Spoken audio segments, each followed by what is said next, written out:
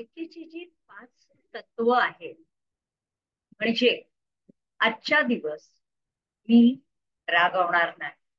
आजच्या दिवस मी काळजी करणार नाही. आजच्या दिवस मी इमानदारीने वागेन.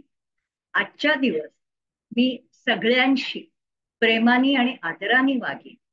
आणि आजच्या दिवस मी सगळ्यांचे नेहमी आभार मानेन.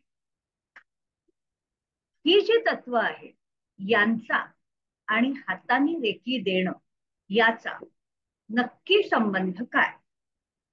तर जेव्हा आपण एखाद्याला रेकीने उपचार करत असतो त्यावेळेला आपली जी मानसिकता असते त्याचा आपल्या हातातून जाणाऱ्या ऊर्जेवर परिणाम होत असतो.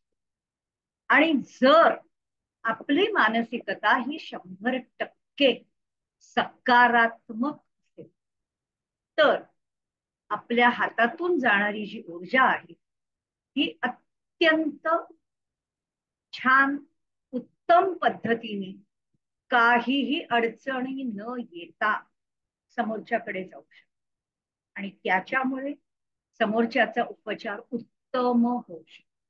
याच्याकरता रेकीच्या या पाच तत्वांचा उपयोग आहे आणि त्याच्यामुळे ती पाच तत्व आपण अंगीकारणं आपल्या अंगात बाणवणं हे प्रत्येक रेखी उपचारकाकरता अतिशय आवश्यक.